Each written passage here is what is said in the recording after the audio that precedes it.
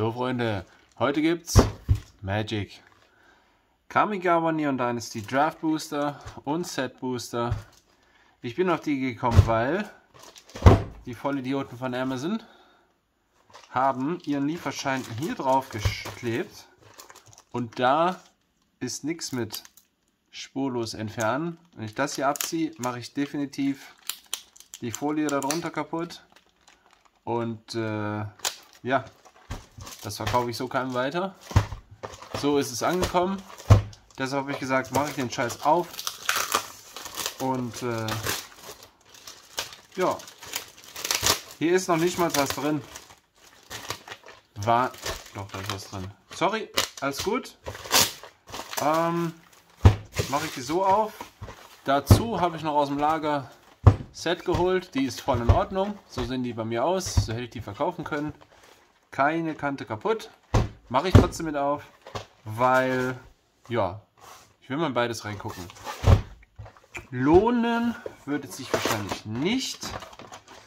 Wir hätten nur den äh, Hidetsu Ninja in der Collectors Edition.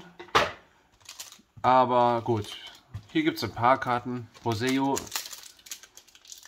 äh, die Wandernde Kaiserin, Fabled of the Mirror Breaker und Otawara. Die sind über 10 Euro wert.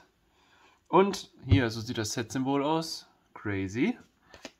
Und das werden jetzt die ersten. Sieht das super fett aus, oder? Gut, wir haben Ende Oktober. Das ist jetzt nichts Besonderes oder Neues mehr. Ähm, für mich ist das, wie gesagt, das erste Mal, dass ich diese Karten aufmache. Ich äh, lasse mich einfach mal überraschen. So, dann mache ich das hier hin. Holt euch was zu trinken, macht es euch gemütlich. Schauen wir mal, hier ist die Rare Farewell. Ach so, diese Länder aus der Collectors Edition Foil, das sind natürlich auch welche, die ich für mich selber geholt hatte. Ähm, ja.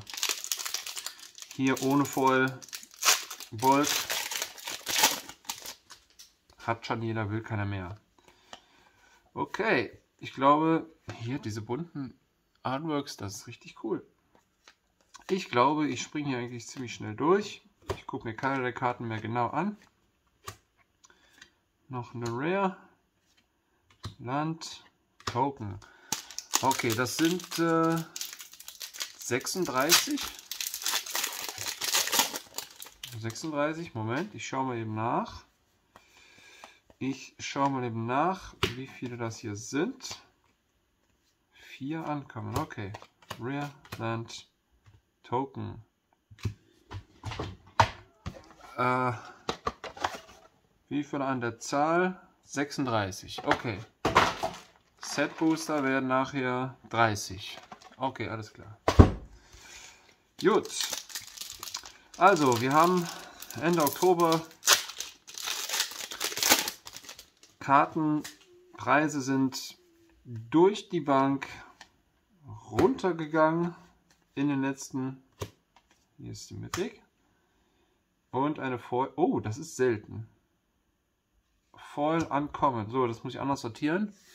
Token nach hier, Land nach hier, Mythic hier. Und die Foils mache ich nach oben. Alles klar. Dann habe ich schon mal grob vorsortiert. Ich werde die gleich alle durchgehen und inserieren. Äh, macht natürlich mehr Sinn, wenn man Mass Opening macht wenn man ganz viele sortiert und ganz viele einstellt und nicht jedes Mal neu die Karte wieder sucht und den Preis raussucht und äh, ja, egal. Das nächste Mass Opening wird sein Flash and Blood Dynasty am 11.11. .11. Da habe ich einiges vorbestellt. Naja, auch die Preise sind runtergegangen. Ich habe äh, den Preis, zu dem ich vorbestellt habe, den, äh, es gibt jetzt schon mehreren Stellen diese Displays für weniger. Aber gut, ich habe mich da jetzt mal, ich nenne es mal verpflichtet, also bleibe ich auch dabei, dann zahle ich halt drauf. Es ist ja nur ein Hobby, ne? Hier gehe ich jetzt auch nicht davon aus, dass das irgendwie lohnen wird. Noch eine Voll. Aber gut, man gönnt sich ja sonst nichts. Ja, die Preise sind in allen diesen TCGs runter. Pokémon, Flash and Blood, Magic, Yu-Gi-Oh! You name it. sowohl die günstigen als auch die recht teuren Sammelartikel. Noch eine Foil kommen. Das hier ist interessant, weil ab Rare seht ihr unten die, das Magic-Symbol. Und äh, die Foils haben das auch nicht. Das bedeutet, die Foil Rare äh, und Mythics werden das haben. Aber ja, nicht jede Karte. So, also der, der Hype um dieses Set war wegen den Ninjas in verschiedenen Farben, in Neonfarben, die es allerdings dann in den Collectors äh, Displays gab. Hier werden wir das nicht finden. Mit Glück eine der teuren angesprochenen. Rare Foil. Auch nicht die teuerste. So. Also, um hier nicht komplett, komplett aufs Maul zu fallen, vom Wert her brauchen wir einen Boseu. Ist eine Rare. Oder die Wandernde Kaiser, The Wandering Emperor. Das ist eine Mythic. So. Also die sehen recht cool aus. In nur in Non-Foil sind die nichts. Äh, wovon ich jetzt überrascht bin, obwohl doch, hier haben schon ein paar Macken. Die Kartenqualität ist in Ordnung. Das letzte Mal, wo ich große Hoffnung und äh, teure Karten bei hatte, war äh, Commander 2. Ich glaube, da war das kaputt. So, jetzt äh, sind wir im ersten Drittel durch. Oder sogar schon mehr. Hatte ich da eine runtergezogen? Ist egal. So, das kommt alles weg. Ähm, bei Flash und Blatt tausche ich gerne noch eure Karten an. Das bedeutet 70 Cent vom Card Market Low ist der Preis, den ich euch gebe. Und dann könnt ihr komplett aus meinem Inventar aussuchen, was ihr wollt. Bin dann auch gerne bereit, je nachdem was es ist, noch einen kleinen Bonus zu geben. Ähm, ansonsten Abonnenten. Bei 100 Abonnenten gibt es eine schöne Verlosung. Dann werde ich gute Preise, auch sowas in der Art hier, komplettes Display, rausgeben. 70 haben wir gerade. 30 Leute fehlen noch. Bin auch mal gespannt. Ach, da haben wir sie, die zwei teuersten, The Wandering Emperor. Fängt bei mir hier, ich gucke mal eben kurz rein, auf Card Market, auf Englisch, aus Deutschland, 29 Euro. Gut. So, der Preis liegt jetzt bei 115 Euro für das Display. Lasse ich sie hier oben? Lasse ich sie unten? Nein, ich mache sie nach hier. Das ist quasi ein Hit. Äh, ja, 115 Euro, wie gesagt. Das bedeutet, diese 30 machen den Braten jetzt nicht so fett. Ist aber schon mal schön, die Karte zu haben. Na, Planeswalker war so ein Grund, warum viele, viele Leute damals aufgehört haben mit Magic. Magic reitet sich momentan selber gut in die Scheiße. Hier haben wir eine Foil, haben wir ein Foil Land. Ich glaube auch nicht, dass die momentan noch was kosten. Ich könnte jetzt nachgucken, aber das ist irgendwie Zeitverschwendung. Ich lege die mal hier zu den Common, zu den gewöhnlichen Karten. Okay, ansonsten Fable of the Mirror Breaker ist die nächste Rare, die teuer ist. Und Ottawara Soaring City. Das sind noch Hits, auf die ich hoffe, die irgendwo was wert sind, die man wieder gut verkaufen kann. Und äh, ja, danach geht es dann. Kaito Shizuki kostet 6. Jin Gitaxias kostet 45. Ich gehe nicht, also ich habe jetzt mich im Vorfeld nicht nochmal schlau gemacht. Ich glaube nicht, dass hier ähm, dass hier ähm, Phyrexian-Karten drin sind. Also mit Phyrexianisch anstatt Englisch.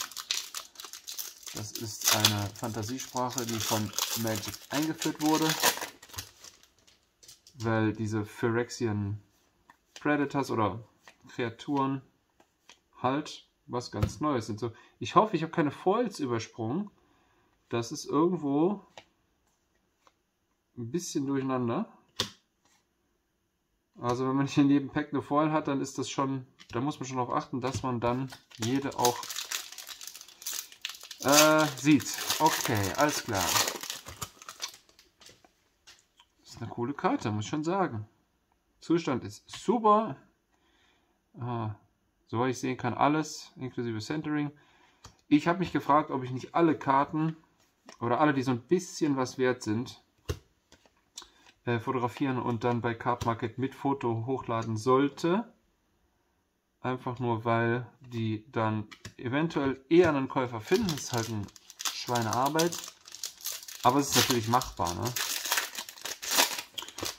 Ja. Ähm, Sorcery. Das neue Kartenspiel kommt dann doch erst Anfang nächsten Jahres. Wahrscheinlich, hoffentlich. Das werden wir uns dann auch hier angucken. Und sonst, ja, hatte ich kurz angesprochen, Magic reitet sich so ein bisschen in die Scheiße im Sinne von, der Gewinn geht runter, hat aber natürlich damit zu tun, dass der Gesamtmarkt, dass die Leute überall weniger ausgeben fürs Hobby momentan, das merke ich auch. Jetzt dann doch, ich hatte einen, der Sommer war okay und jetzt September, Oktober ganz hart schleppend.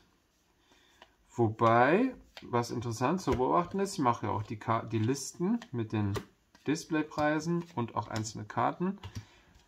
Ähm, der Boden ist erreicht. Einzelne gehen auch schon wieder rauf. Äh, ich hätte gerne mehr Kapital gehabt, um jetzt genau einzukaufen. Sämtliche Sparten durch, Einzelkarten oder auch Sealed-Produkte. Ähm, weil es echt wirklich richtig günstig ist und es wird wieder dahin kommen, wo es war. Sehe ich deutlich sicherer als zum Beispiel, ja, weiß ich nicht. Das kann Leute immer bei Kryptos behaupten. Hier ist es ein Hobby, hier wissen wir genau, dass da Nostalgie hintersteckt und sich immer jemand finden wird, der gerne Kamigawa Neon Dynasty öffnet, weil er damit immer seine Drafts gemacht hat. Das ist ja auch, ne, dass die sind Draft Booster, die sind halt eigentlich zum Draften da. Und äh, vom Wert her, ja, ist hier nicht so viel drin. So, wir werden es gleich sehen. Wir machen ja erst Draft und dann Set auf. Wir werden dann sehen, was der Grund dafür ist, dass die Set Booster teurer sind. Also es sind nur 30 Stück drin. Und hier, weiß ich nicht, äh, eventuell ist da in jedem Pack eine Foil. Ich weiß es nicht mehr. Moment, ich lese mal eben hier. Was steht denn hier? Äh, 16 Karten auf Englisch. Äh, warum steht das da auf Französisch? Das ist ja natürlich Quatsch. Eine Rare oder Higher. 3 bis 4 ankommen. 9 bis 10 kommen und ein Land. Hm. Foil Mythic Borderless Planeswalker in weniger als 1% der Booster. Aha. Foil Mythic Borderless Planeswalker. Also den in Borderless Foil Aha. Moment, klicke ich mal rein. The Wandering Emperor.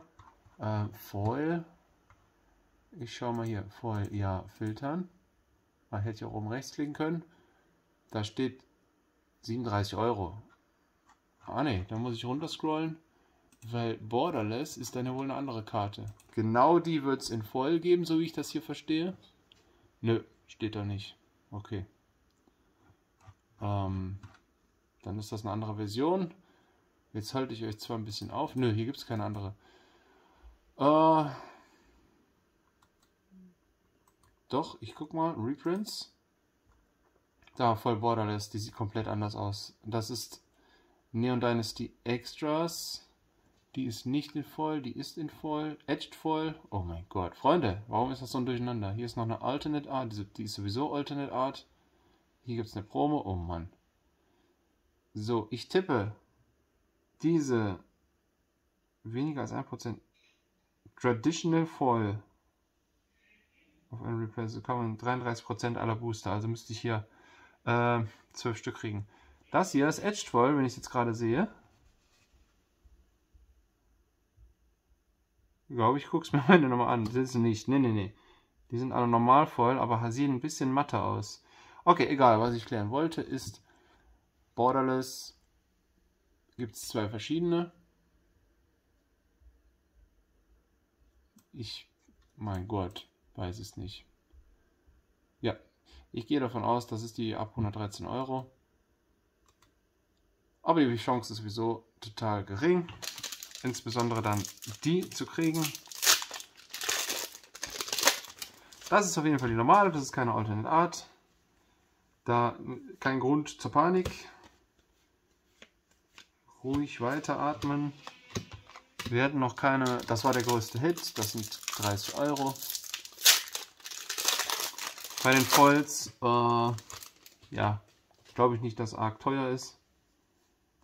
Ansonsten, das machen wir eh nicht, um irgendwie Plus zu machen. Expected Value ist hier niedriger als der Einkaufspreis, sonst wird es immer noch jeder öffnen und einzeln verkaufen. Ich habe die Zeit dafür, ich gebe mir das gerne. Die sieht echt gut aus. Guck mal hier, Bambi. Ha. Okay. So. Weiter geht's. Hier ist noch eine voll. Bin ich mal gespannt, ob ich 12 Foils bekommen werde. 2, 4, 6, 8, 9. Ne, das haut nicht hin. Sind das hier 5? 2, 4, 6. Oh, 11. Das haut ja wohl doch hin. Fehlt nur noch eine. Dann halten die das auch ziemlich genau. Kaito Shizuki, wie angesprochen. Normale Edition, also ab 6 Euro. Die kommt hier daneben. Ja, das äh, war die letzte Folge. Alles klar, Boseo als Rare nicht gefunden. Fable of the Mirror Breaker und Otawara auch nicht gefunden. So, der Stapel wird momentan ein bisschen sehr groß. Also dieser ganze Bulk, das ist heftig viel. Aber gut, es ist ja auch für einen Draft gedacht. Da zockt man mit allen Karten. So, Rare Land Token. Eine einzige normale, ah ne, sorry, ich bin behindert. Äh, drei Mythics sind das. Da war nichts Besonderes bei. Kura steht bei mir hier ab 1,20 Euro. Wow. Das ist dann natürlich irgendwie schade. Irgendwie schade. Aber war so zu erwarten. Ich wusste nicht, dass die Foil Lands hier drin sind. So wie in den Collector Boosters, in jedem Booster. Okay, so. Vorletzte.